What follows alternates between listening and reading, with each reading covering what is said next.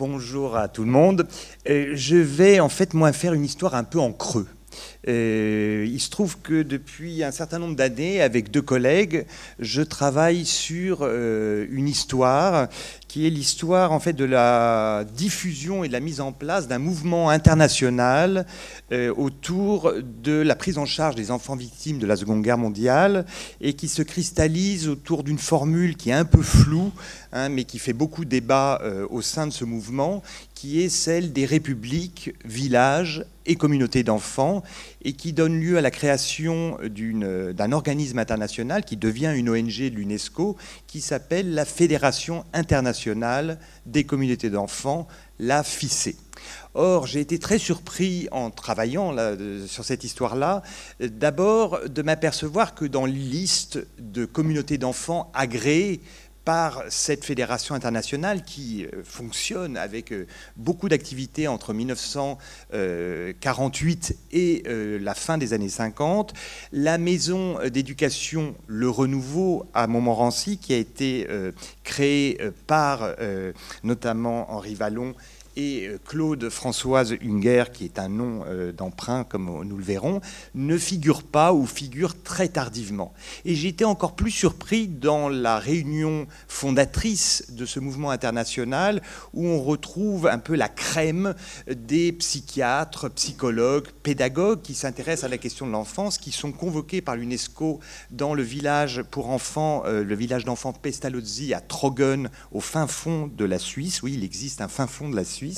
euh, que Henri Vallon n'y soit pas. J'ai été vraiment très surpris. C'est vraiment ma question. Même si j'ai trouvé euh, quelques pistes qui pourraient peut-être expliquer son absence, il y a quand même des choses qui m'interrogent énormément. D'autant, comme je l'ai mis dans le sous-titre de cette communication, Henri Vallon se trouve bien à la croisée de trois histoires qui sont vraiment les piliers hein, de la fondation de ce mouvement international des communautés d'enfants et qui euh, vont être vraiment débattus largement par les initiateurs de ce mouvement international. Alors, comment on passe à la suivante? Par là, je pense. Donc la première, euh, histoire, euh, c'est euh, évidemment la place d'Henri Vallon dans la, la, naissance de la neuropsychiatrie infantile. J'étais encore une fois très frappé dans cette journée par la façon dont on présente toujours Henri Vallon comme étant le psychologue, voire le plus grand psychologue de l'enfance, et avec énormément de pudeur ou de réticence pour le présenter comme un psychiatre, psychiatre infantile qu'il était bien, hein, et euh, qui fait partie, je dirais même, de cette première génération qui va euh, mettre en place la psychiatrie infantile en France, qui va faire partie du congrès qu'on a beaucoup utilisé, qui est le congrès fondateur un peu de cette sous-discipline de la psychiatrie, qui est le congrès de 1937. Je vais y revenir. Et en effet, quand on regarde son, euh, parcours, hein, on s'aperçoit qu'il a tous les éléments pour répondre, en effet, à, ces premiers, à cette première génération de psychiatres qui vont s'appeler psychiatre de l'enfant. Il a été euh, assistant du professeur Jean Najotte, là dont vous voyez la photo, hein, à l'hôpital Bicêtre, puis à la Salpêtrière. Jean Najotte ne travaillait pas du tout dans un service où on traitait tout particulièrement les enfants. C'était vraiment un neurologue pur, un hystérologue, si j'ai bien compris les dénominations compliquées euh, de l'époque. Hein. mais euh, très rapidement, on s'aperçoit que Vallon va publier toute une série d'études de cas portant plus particulièrement euh, sur les enfants. Et dans une des revues phares de l'époque, hein, la revue L'Encéphale, journal mensuel de neurologie et de psychiatrie, organe officiel de la Société de psychiatrie de Paris. Là, je vous ai mis toute une série d'articles hein, qui apparaissent à l'époque. J'ai découvert à cette occasion que l'enfant sitiophobe, en fait, c'est l'enfant anorexique, si j'ai bien compris. Hein. Sa thèse de médecine sur le délire de persécution, qui est porte pas et qui n'est pas centré, mais je ne l'ai pas lu, je dois vous l'avouer, euh, spécifiquement sur l'enfance, mais par la suite, petit à petit, hein, on voit bien se dessiner une spécialité dans la psychiatrie autour des cas d'enfants. Et euh, pour finir, donc, une thèse, je reviendrai sur la parenthèse dont je ne parle pas maintenant de la guerre, une thèse sur l'enfant turbulent, euh,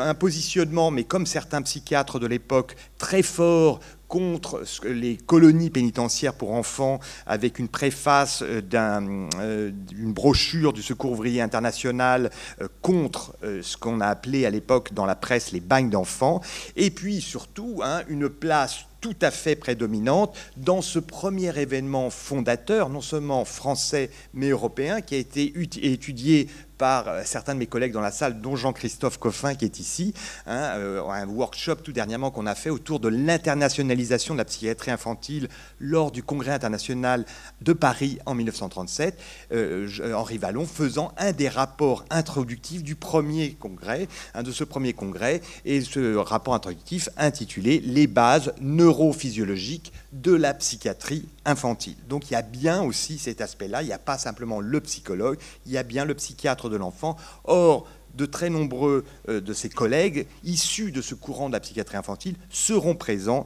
dans la fondation du mouvement international qui m'intéresse. Le second aspect qui m'a beaucoup interpellé, c'est la montée en puissance d'une nouvelle cause, une cause qui était peu présente auparavant, c'est la question des enfants victimes de la guerre. Là, vous avez une photo, euh, c'est des photos magnifiques d'une agence qui jusque-là a été encore très peu connue, l'agence Roll. Hein, des photos qui ont été mises entièrement en ligne euh, sur Gallica. Une photo de la Première Guerre mondiale, une des rares photos, il y a peu de photos d'enfants parmi les ruines, d'enfants victimes de la guerre, avec euh, aussi une montée en puissance, surtout à partir des années 20, de cette question-là, où pour la première fois, on va mentionner explicitement cette question d'enfants victimes de la guerre, et non plus seulement d'enfants de soldats morts à la guerre, ce qui est totalement autre chose. Hein. c'est vrai que l'imagerie qui prédomine pendant la Première Guerre mondiale, c'est plutôt le fils du soldat, et une imagerie où on montre les enfants en train de jouer à la guerre,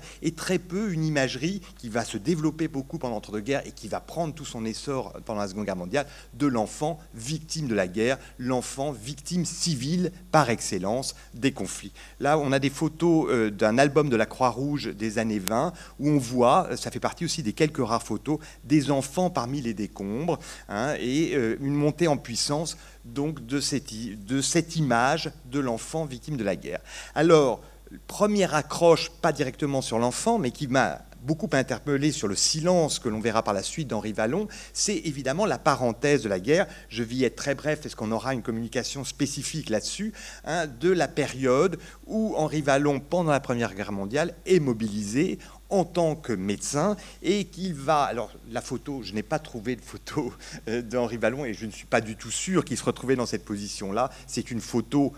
pour le moment en manque de vraies photos et j'espère que justement ce qui va émerger aussi cette journée, c'est toute une nouvelle iconographie sur l'itinéraire de Henri Vallon, mais une photo qui montre juste, euh, qui symbolise hein, la, présence et, euh, très importante hein, du corps médical pendant le premier conflit mondial et très vite à la suite de ce conflit, dès les années 1919, une série de publications relativement courte, hein, trois publications que j'ai pu retrouver, hein, qui va justement s'intéresser spécifiquement sur la névrose de guerre, le traumatisme de guerre, non pas chez l'enfant, ce sera que beaucoup plus tard que ça va apparaître, mais chez le soldat qui a subi, euh, justement, qui a vécu le conflit. Et là, donc, ça fait partie hein, de ces écrits assez précurseurs, hein, mais il n'est pas le seul à s'interroger sur le traumatisme de la guerre chez le soldat. Mais là, on voit trois publications. En 1919, les troubles mentaux de la guerre. En janvier 1920, lésions nerveuses et troubles psychiques. Et puis, cette publication aussi des années 20, dans l'année psychologique, les psychonévroses de guerre. Donc, on voit là euh, une interrogation très forte et ce qui est dit partout, mais encore faudrait-il vraiment le vérifier. On a évoqué justement ce matin le fait d'avoir sa thèse dans la version avant la guerre et sa version après la guerre sur l'enfant turbulent. Il semblerait, hein, tout le monde le dit, et même Zazo en, témoigne, que cette expérience justement de prise en charge de soldats traumatisés par la guerre l'a fait complètement repenser hein, euh, sa, sa, nosographie sur l'enfance et que la thèse qu'il aurait réécrite, qui sera publiée en 1925, serait énormément influencée justement par ses écrits sur la névrose de guerre chez le soldat. Mais encore faudrait-il en le regarder plus près, surtout que quand on regarde d'un tout petit peu plus près ces textes, je ne les ai pas lus tous en entier, mais quand on les survole, on s'aperçoit que Henri Vallon a énormément de prudence hein, sur cette névrose spécifique à la guerre, même chez le soldat, hein, qu'il énonce cela, mais euh, avec beaucoup de prudence, en s'interrogeant si réellement la guerre est une cause hein, d'une névrose spécifique ou si finalement cette névrose apparaît chez des sujets qui seraient déjà fragiles auparavant. Donc on voit hein, un débat qui est euh, pas une évidence, une interrogation en tout cas, et une ambiguïté sur cette question du traumatisme de guerre. Alors, entre-temps, pendant la, pendant la, l'entre-deux-guerres, monte cette question de l'enfant victime de la guerre. Évidemment, la guerre d'Espagne va faire ressurgir toute une série d'iconographies d'enfants, cette fois-ci vraiment victimes de la guerre, enfants parmi les décombres, pendant la guerre d'Espagne. Et la Seconde Guerre mondiale, on va voir se formaliser, cette fois-ci, dans de très très très nombreuses brochures, cette question de, là, vraiment euh, dénommée dans les brochures, d'enfants Wars Victims ou Enfants victimes de la guerre, hein, avec toute une série de publications, aussi bien scientifiques que militantes, hein, qui, ou, euh, qui émanent par exemple de l'UNESCO juste au lendemain de la guerre, qui va faire le point justement sur cette question de l'enfant victime de la guerre, avec une très très nombreuse iconographie qui représente les enfants parmi les décombres, en jouant sur ce contraste euh, qui est extrêmement violent de l'enfant en train de jouer dans une position normale, hein, mais dans un décor totalement apocalyptique. Et parmi toutes ces photos, on voit apparaître certaines photos, comme celle-là très connue de David Seymour Chim, hein, qui pointent aussi, parmi les enfants représentés, des enfants qui auraient subi le traumatisme de la guerre. Cette photo est très connue, hein, c'est la petite Tereska, une enfant polonaise, sévèrement perturbée, parce qu'elle aurait grandi dans un camp de concentration, et on la verrait là, on lui aurait demandé de dessiner sur un tableau sa maison, le regard et le, dessin qu'elle a fait pour représenter sa maison montrerait hein, le, traumatisme qu'elle a subi pendant ce conflit. Effectivement, juste au lendemain de la guerre, autour de cette maison du renouveau sur lequel je reviendrai,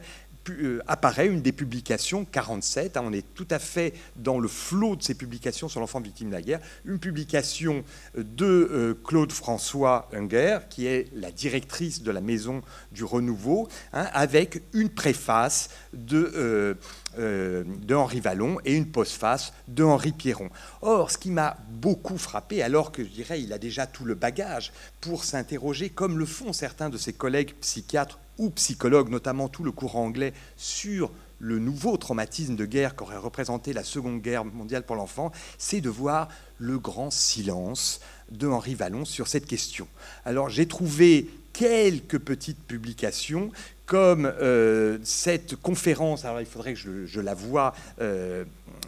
de plus près dans les archives, dans le fameux carton AP 260 ou 360, je ne sais plus, une conférence qu'il aurait donnée à la mairie du 19e arrondissement sur les effets de la guerre sur le psychisme des enfants. L'introduction dans ce petit fascicule est extrêmement brève et finalement relativement sommaire pour présenter le problème de ces enfants je vous en lis juste une petite partie. Les épreuves subies par ces enfants les laissaient sous une influence de terreur. Ils avaient souvent assisté à l'arrestation de leurs parents. Ils avaient été violemment arrachés de leurs bras parmi leurs frères et sœurs. Ils étaient quelquefois les seuls qui avaient pu être soustraits à la déportation ou à la mort. Pendant des mois, ils avaient senti autour d'eux la crainte qu'ils ne soient découverts. Certains avaient subi de, pérégrination en pérégrination des privations pénibles. Il en résultait des troubles variables que leur rassemblement aurait pu aggraver. Hein. ils ils étaient instables, âprement individualistes, tel menaçait de s'enfuir et disparaît effectivement, tel autre semblait hanté par des idées de suicide. Il évoque même l'idée de pathologie, mais j'ai été très frappé, pour le moment en tout cas, de ne découvrir aucune publication spécifique hein, qui étudierait ces cas. Alors peut-être que les 900 dossiers euh, retrouvés euh, dernièrement au, euh, au, Collège de France permettraient de voir que peut-être qu'en pratique, il mettait l'accent sur la conséquence de la guerre sur le psychisme des enfants, mais apparemment, en tout cas dans l'état des lieux actuels, il n'a pas du tout Hein, fait de publications spécifiques, même pas hein, de la qualité, je dirais, ou de la conséquence des trois écrits de la Première Guerre mondiale troisième et dernier volet, hein, qui plaçait vraiment Henri Vallon comme un des piliers euh, naturels, je dirais, de ce mouvement international des communautés d'enfants, c'est l'appartenance, et là aussi je serai très bref, parce qu'on aura une communication euh, par la suite, d'Henri Vallon au courant hein, ou à la mouvance de l'éducation nouvelle, et en particulier, non seulement au groupe français d'éducation nouvelle, comme on l'a évoqué, mais aussi à la Ligue internationale d'éducation nouvelle, hein, dont les grands congrès, dont il participe en tout cas j'en suis sûr, à partir de 1932, peut-être déjà euh, euh, aux, deux ou trois qui, qui sont auparavant. Hein, il y participe activement. Il devient en tant que euh, membre du comité du groupe français d'éducation nouvelle rapidement à partir de 32. C'est à partir de 32 son nom apparaît clairement dans la publication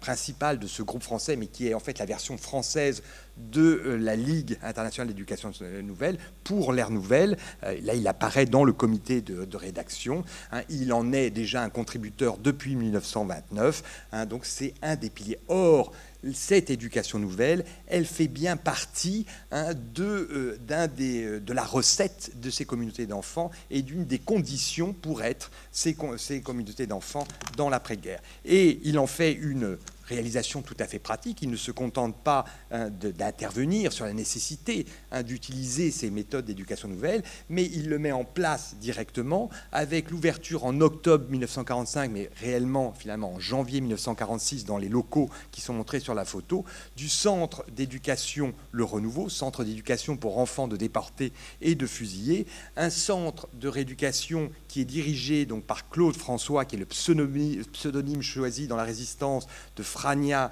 Rodblum Proper, appelé aussi son nom d'épouse Françoise Kupferman, époux qui est mort d'ailleurs en déportation. Et on voit bien dans la brochure de ce centre Le Renouveau hein, que dans le conseil d'administration, le président n'est autre que Henri Vallon. La vice-présidente n'est autre que la femme de son meilleur ami Henri Pierron. Henri Pierron figurant d'ailleurs dans les membres du conseil d'administration. Donc là encore, les archives du renouveau seraient à creuser. Je sais qu'elles sont encore stockées en grande partie dans euh, la villa, si elle est toujours, euh, si elle n'a pas été mise en vente, mais il me semble qu'elle est toujours dans l'état actuel où j'ai vu il y a quelques années les archives. Mais on voit bien donc une mise en pratique. Et quand on regarde la, la façon dont on présente cette République